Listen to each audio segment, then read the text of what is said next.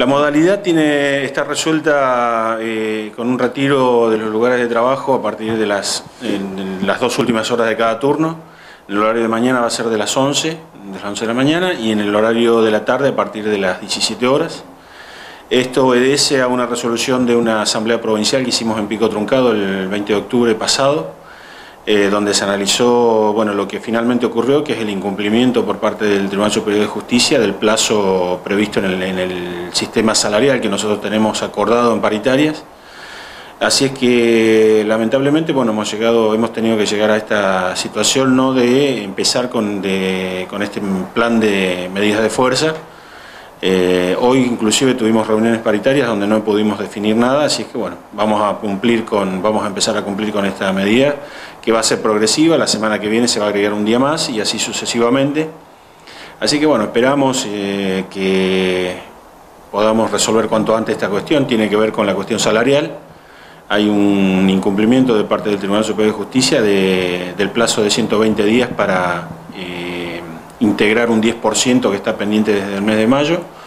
Así que bueno, eso es lo que, lo que hay, además de otras dos cuestiones que tienen que ver con la falta de personal en, distintas sedes judiciales, algunas de las cuales están en una situación muy, muy crítica.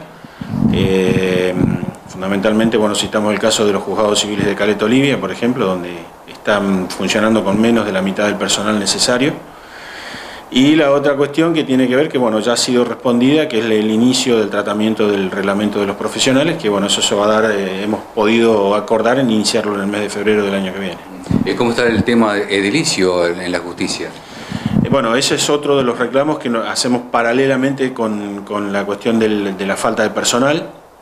Sabemos que está íntimamente ligado, o sea, el incremento de la planta de personal requiere o demanda que bueno, eh, haya una adecuación también de, la cuestión edilicia. Así es que en este sentido bueno, le hemos pedido al tribunal que vaya previendo también la remodelación y la ampliación de los distintos sectores, de los distintos edificios con que cuenta el Poder Judicial para poder este, albergar la cantidad de empleados que se necesita para un funcionamiento normal del servicio en, todas las localidades. Seguro. Bueno, entonces recordamos que a partir de mañana comienza esta Mañana a las dos últimas horas de cada turno, a partir de las 11 en el horario de la mañana y a partir de las 17 horas en el horario de la tarde. Eh, la idea es, este, bueno, eh, ojalá sea este el primer y único día que tengamos que llevar adelante estas medidas de fuerza y que podamos anunciar cuanto antes la, firma del acuerdo paritario con respecto a la situación salarial. Eh, haciendo a modo de balance, bueno, ¿cómo ha sido el año? Y hemos tenido este, altos y bajos, digamos, en esta cuestión. Nosotros, eh, en lo que tiene que ver con los salariales, hemos incorporado solamente el 10% durante el año 2011.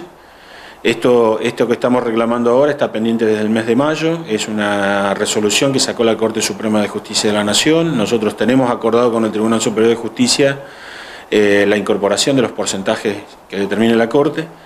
Así es que bueno, eh, en ese sentido creo que zanjando esta, esta cuestión que está pendiente en estos momentos, en lo salarial estaríamos eh, cerrando el año bien. En lo que tiene que ver con la, cuestión de personal, ahí estamos bastante mal, digamos, ahí este, no hay una política definida, una política de recursos humanos definida por parte del, del Tribunal Superior de Justicia. Esto ha llevado a que muchos sectores, como decía recién, están funcionando con menos de la mitad del, personal que se necesita, eso resienta el servicio, pero además hay una sobrecarga laboral y horaria de, parte por el personal que hoy está en funciones.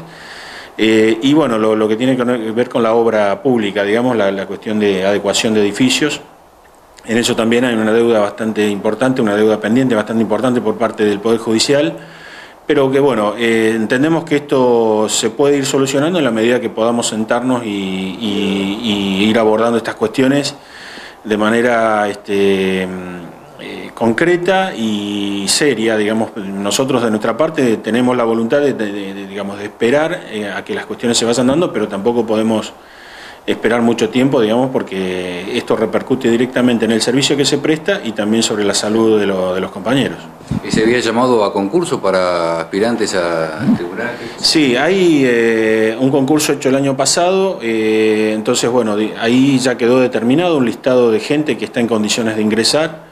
Eh, lo que nosotros no entendemos justamente es por qué no, no se acelera el ingreso de personas sobre todo en aquellos lugares donde hoy, hoy, hoy por hoy está en una situación crítica. Eh, nosotros hemos, justamente hoy, la estimación al día de hoy es de una, la necesidad de unos 70 ingresos en toda la provincia como para poner eh, casi en funcionamiento normal las dependencias judiciales.